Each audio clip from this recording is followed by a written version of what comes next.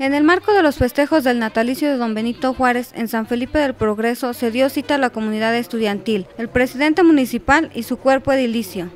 Un estudiante de los más destacados tuvo el honor de pronunciar un discurso de quien para él es un ejemplo a seguir.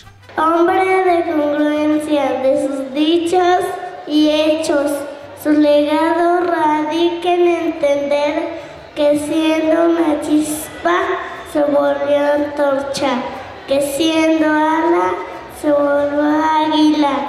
Por eso Juárez vivirá como torcha eterna en nuestras memorias. Y es que don Benito Juárez, a pesar de ser una persona de bajos recursos, pudo trascender en la historia de México.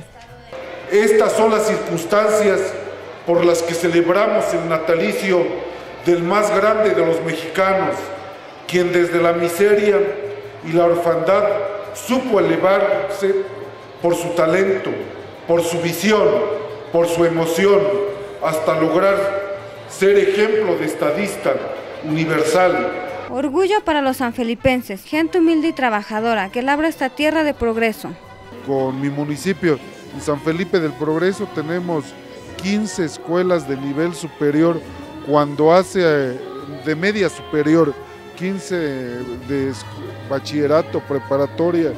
Pero además, San Felipe del Progreso ofrece una gran riqueza cultural y turística. Tenemos el Centro Ceremonial Mazagua, que es un, es, es un centro muy emblemático, que no solamente es de los mazaguas, sino que es de, todos los mexiquenses. Así los pequeños vestidos de conejos, mariposas, leones, pescados, arbolitos, entre otros, dieron la bienvenida a la primavera, desbordando sentimientos de admiración, orgullo y felicidad en cada uno de sus papás. Estuvo muy bien, la verdad es son este, eventos que deben de repetir y hacerlos con más frecuencia y bueno, pues para que la gente sepa y vea lo que se organiza en las escuelas. El evento creo es una, algo recreativo tanto para los niños, tanto como para nosotros los grandes.